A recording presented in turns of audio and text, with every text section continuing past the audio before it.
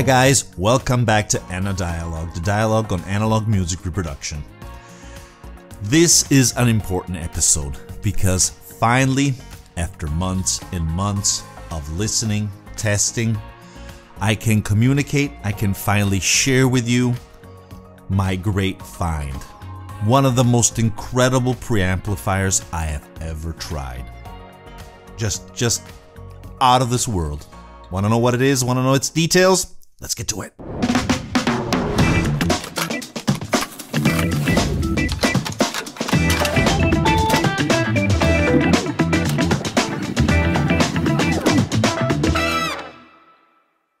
Okay, guys, I don't want to hide my enthusiasm because here we're dealing with an amazing, incredible object. I actually mentioned this in a few episodes ago.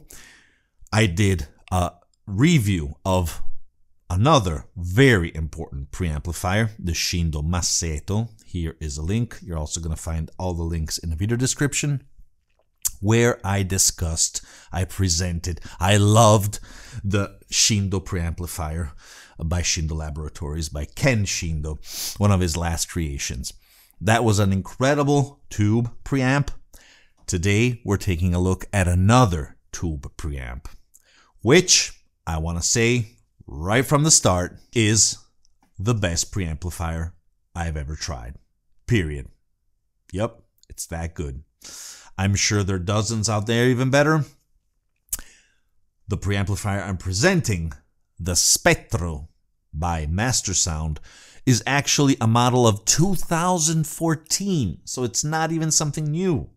They, they also have currently a, a new version of Spettro, and uh, I will tell you afterwards what is the main difference. But apart from that, uh, they are they still have the same concept, the same type of preamplifier, which I'm sure is better. I spoke with the people, with the guys of uh, Mastersound, and they explained me what are the differences.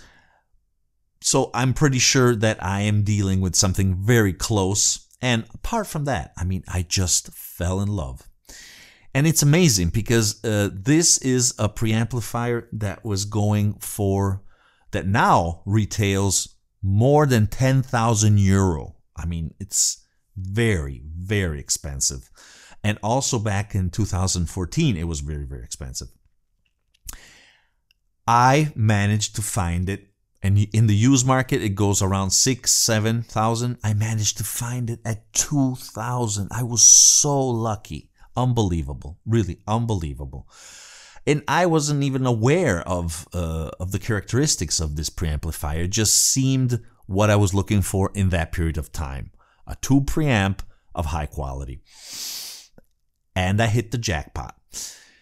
In fact, I am so thrilled by this product since I also was able to compare it to, I mean, a, a, a giant in preamplification, which is the Shindo Masseto. And as I said, I'd like more the master sound. I also said this to the, to them, to to uh, Antonio Ferro, uh, the the CEO of Master Sound, and he was very very pleased. Well, I bet. I mean, if when you have a, a Shindo Masseto as a contender, you you must be absolutely proud of yourself. Okay, so apart from all this enthusiasm, afterwards I'll give you a little more of the characteristics and a better take on the sound but first, I want to give you an overview of the different physical characteristics of the baby. Are you ready? Let's start.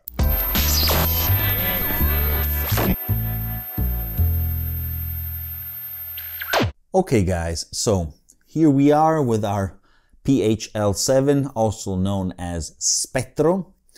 Here we, you can see the main parts in the front and a little bit of the top. Afterwards, we're going to do a zenith uh, shot so we can understand a little bit better how it's constructed, how it's built, and also behind.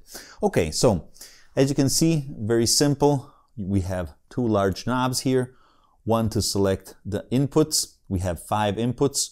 One is dedicated to uh, phono cartridges, and then classic, all, all obviously line inputs. You can use it for whatever you want. But there's something special behind after we'll take a look. Here we have the logo, the name, and here a nice volume knob, which has the right resistance. To turn on the baby, as you can see, it says power here. There's also a little LED that turns on. Here below, there's a switch. You just have to click that. And that's it. Let's take a look now to the rear. Here is the rear of the preamp. Let's go quickly to the different features. Here we have the IEC inlet with the fuse. You can change the fuse if you want.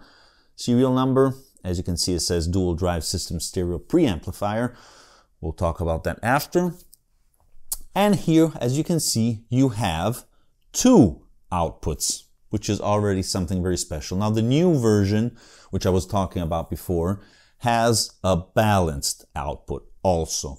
But I contacted and I, I spoke with them at Master Sound and they told me that it's not a true balance output. It's just because people have their cables, their old cables, very high quality balanced cables, and they want to use it. So that's why they did that. Here is an image of the new version uh, in the rear, the rear of the new version. In any case, apart from that, it's very similar. The good thing, as you can see, very high quality RCA uh, single-ended inputs, connectors, uh, very sturdy. I love this type. I love this kind. And as you can see, you have two outputs, which is something very rare to find, but very useful.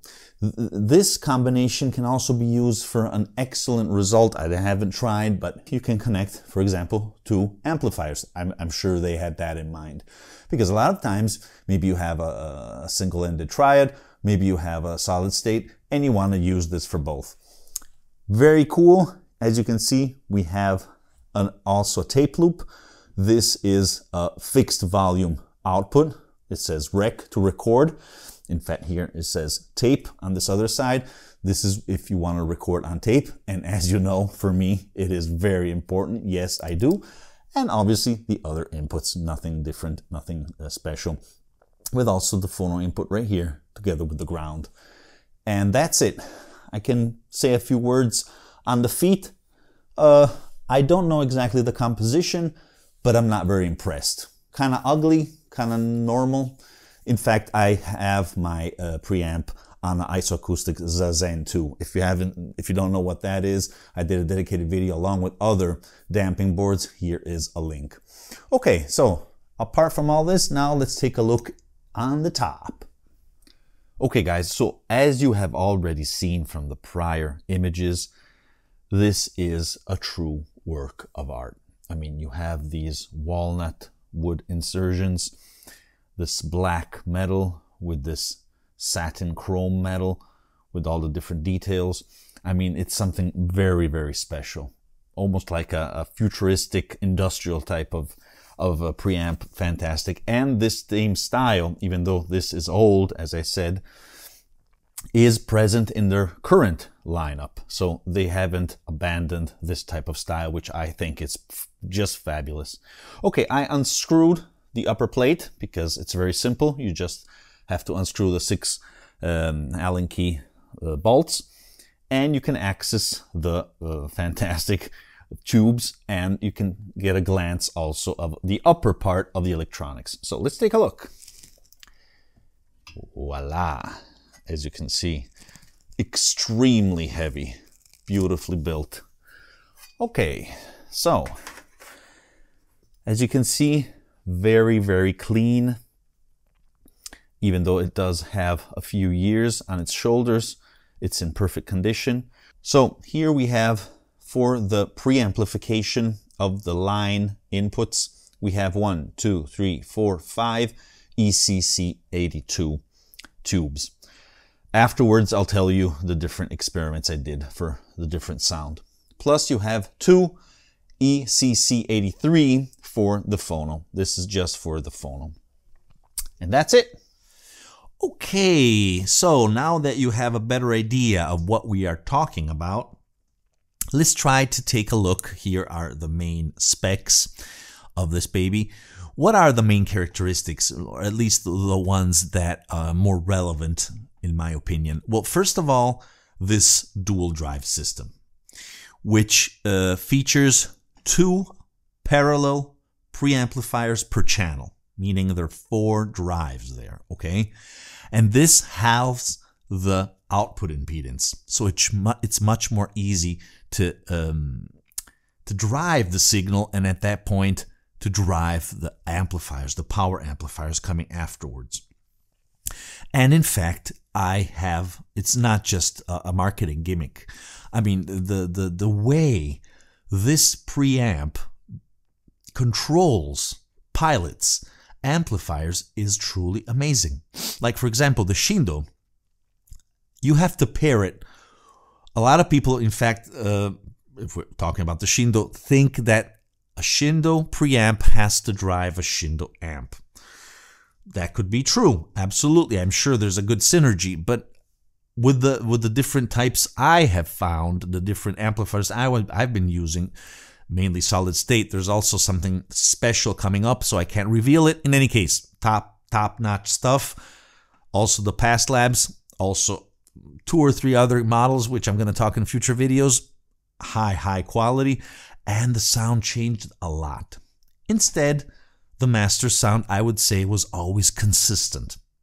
Plus, another thing, before I forget, which was rather, um, well, not shocking, but it really gra- grabbed my uh, attention, is that the uh, the board where, where the circuits are and all the, the discrete components are soldered, all of the different, um, we could say, uh, paths of the board are made of solid gold. So it can't rust, and there's an excellent type of transmission of the signal. Uh, once again, maybe this is just stuff for marketing.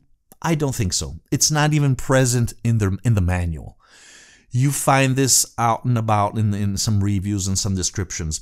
And I do think that this the combination of very high quality uh, components their transformers because Master Sound is very famous for their for their homemade transformers. We can say that's the magical recipe, that's the magical ingredient they do at, at their uh, in their home.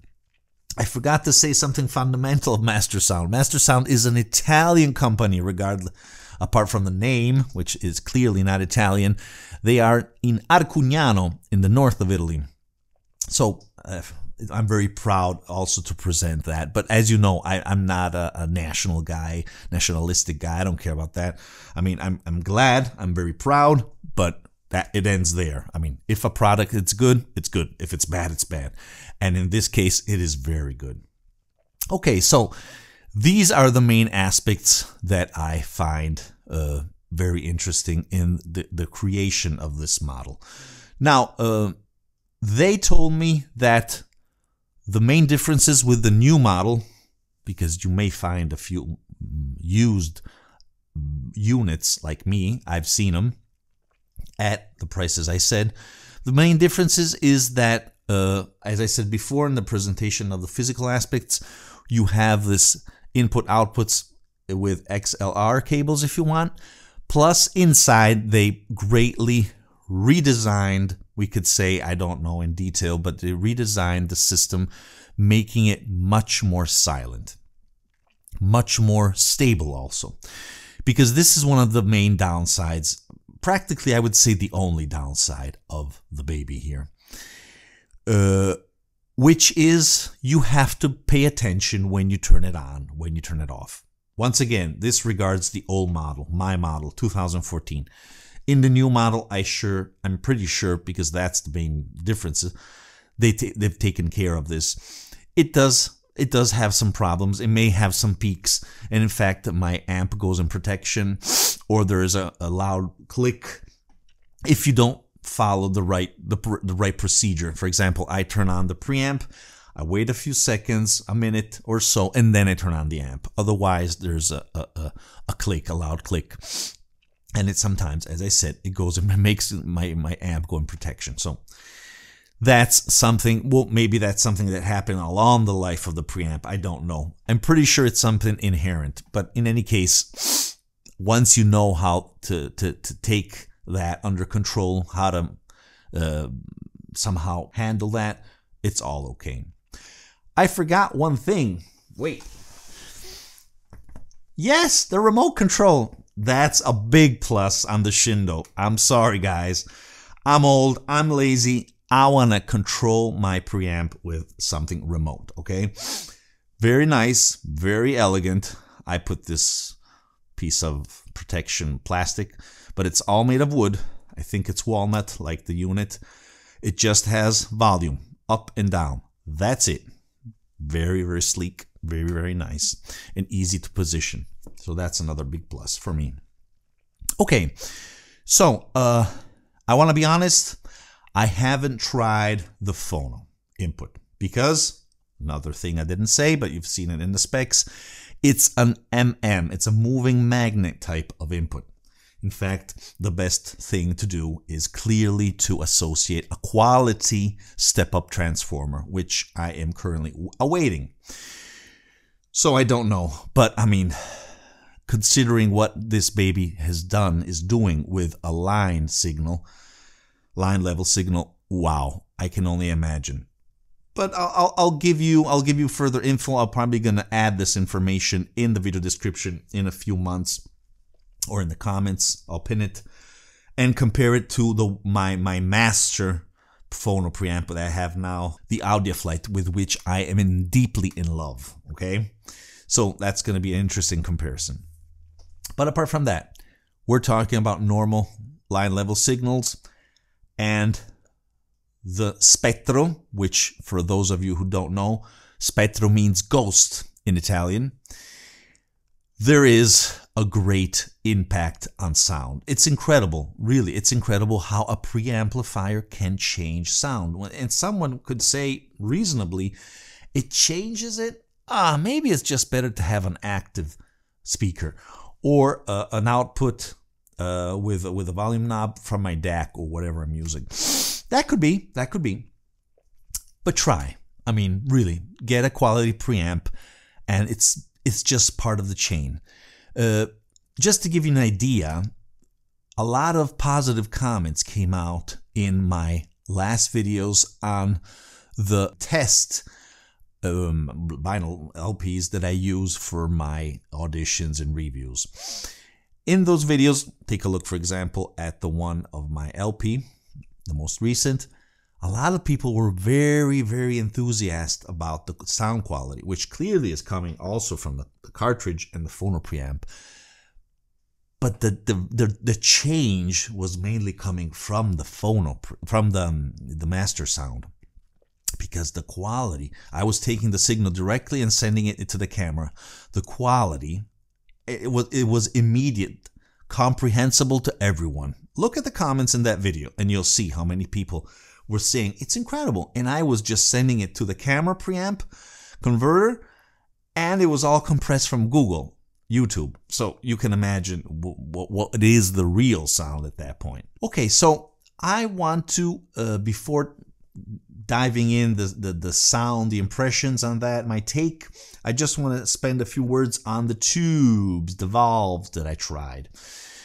The unit came with a fresh set for the line level signal of ECC82 by JJ Electronic. And obviously, as you can imagine, uh, I was very pleased by the sound, but I said, I want to try to put something a little more fancy, a little more powerful. Well, not powerful, but just of higher quality. And as you can imagine, I went for Mullard. I tried to put five high quality Mullard preamp valves, tubes. And as you know, I think you know, these are among the best of the best in the world. Period. Then I went back to the JJ, and then I also tried it currently inside. And what you heard in the video of the LP are the Golden Lion Genalex. And I want to say here incredibly, this is more a comment on tubes probably, I don't know, or the efficiency of the Spettro PHL7. is that it sounds better with the new tubes. And that was kind of shocking for me. I have a tube tester, which I will show you in a following video. So I know that the Mullards were perfect, great condition, no question on that. And the sound was very nice, but it was a little relaxed. Instead, ooh, baby. Now, this preamp is fast, okay? Let's start, start talking about the sound. The, the preamp is very fast. It's dynamic. It's just really, really a muscle type of sound, but a muscle type of sound not in a rude or, or I don't know, unpolite way, in an euphonic, pleasing way. I mean, where where you're just being transported in the flow and the energy that it's coming through your speakers, thanks to this, who are piloting the uh, the amplifier, the power amplifier. And with these new old stock i mean these uh, sorry the mullard is new old stock okay? Not used. These were new newly produced currently produced and i must say that between two the, these two even though even though i still have these inside the jj Electro- electronic were just better the czech republic uh, tubes wow i mean for a fraction of the price, you have the best of the best. I don't know why. I'm gonna put back the Mullard and try to convince myself, but I already know I've done this test twice. The JJ are just very, very good. So I want to say a little parenthesis here, a little message. Don't let's not not always go to the the classic dogma where you have to buy new old stock of the old school because otherwise it's gonna sound like crap. Not always, I guess. Not always. In other cases, yes, I did try, like for example, in the Shindo, I had to go with the Telefunken. And that was spectacular with the Telefunkens, the PCL 86. In this case, no. The new ones, nice and potent, nice and, I don't know, aggressive almost, but uh, once again, not in a unpleasant manner. It was just the way to go. Fantastic fantastic. In fact, if I have to compare the sound of this and the Shindo, they are very similar, very similar from the point of view of, of the, the, the fastness, the dynamics, the enthusiasm that it, that it creates in who is listening, really. But every time, and I wanted the Shindo to be the best because the Shindo is a Shindo. In the end, the master sound, when I put it back, I clicked back to everything, I just said no. I'm sorry, it's just better. It's just a, a, a, several miles better, not just a bit, a big bit. I mean, really, really moving, really engaging, fantastic. Uh, loud, big sound stage. As I said, dynamic, refined. Everything was just more in position into focus. I loved it very, very much. So, if you have the chance and you're out shopping for a tube preamp, maybe even a, a used type like this, which goes for very, very, uh, well, very, very, let's say a medium type of cost compared to its original price, that's for sure. You should audition this or the new one. The new one is probably even better. Okay, guys. Well, I hope you enjoyed this video, this review, even though, as you see, I, I do strange reviews of something that it's not even more, we could call it vintage at this point, even though it's just of 2014. So I hope you enjoyed this video. I hope you're going to try these suggestions. Please leave your comments on other tube preamplifiers. I am very interested and also the audience. What else can I say? Thank you again for watching and remember that music is born analog. Bye guys. Ciao. Well guys, if you're enjoying my videos and you're enjoying my channel, please consider to subscribe by clicking the black and white logo here below. Also, don't forget to click the notification bell so you'll never miss an episode and you will become a true member of the analog community.